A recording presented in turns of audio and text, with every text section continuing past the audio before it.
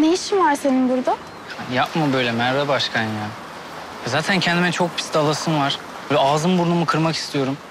Gökhan. Ben artık seni arkadaşım olarak görüyorum. Ben de seni kayınçom olarak görüyorum. Ne yaptın kayınço? İyisin. Bir gider misin yanımdan? Ya arkadaş olarak görüyorum nedir Merve ya? ya? Ne diyeyim ben şimdi sana? Birader ne yaptın? Açtın mı spor salonu ya? Nasıl gidiyor işte? Mi diyeyim?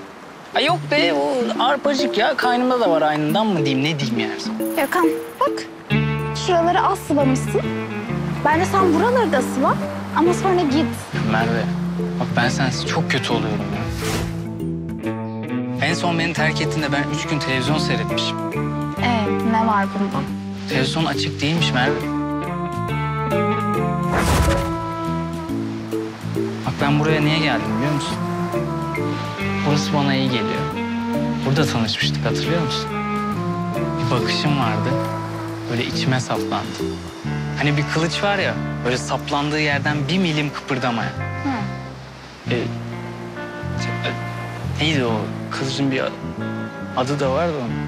Sen... Heh, Excalibur mu ne öyle bir şey. Ya senin gülüşünün yanında var ya, o kılıç böyle dikin arasına saplanmış maydanoz kalır ya. Ben seni çok seviyorum Merve. Sen ne güzel her şey.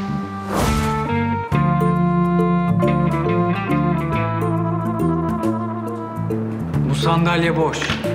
Alabilirsin.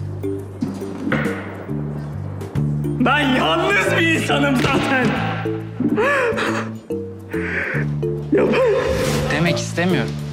O sandalye hep dolu olsun. Hep yanımda olsan ya. Gökhan. Dün yaptıklarının telafisi yok. Ya ben sana artık inanamam ki.